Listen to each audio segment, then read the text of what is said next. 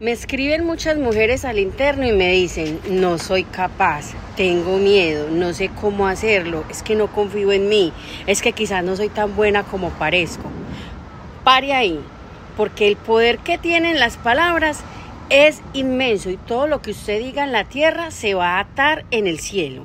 Entonces, el primer paso y más importante es creer en usted creer en sus cualidades, creer en sus capacidades, aptitudes y virtudes que Dios le dio.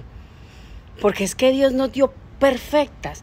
Tenemos los cinco sentidos, podemos planear, imaginar.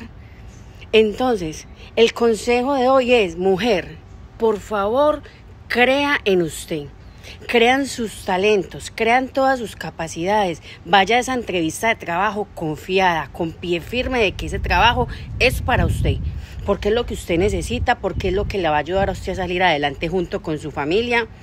Entonces vamos a dejar de estar diciendo, no soy capaz, creo que no soy tan buena, porque a lo último, usted tanto repetir algo, se lo va a creer.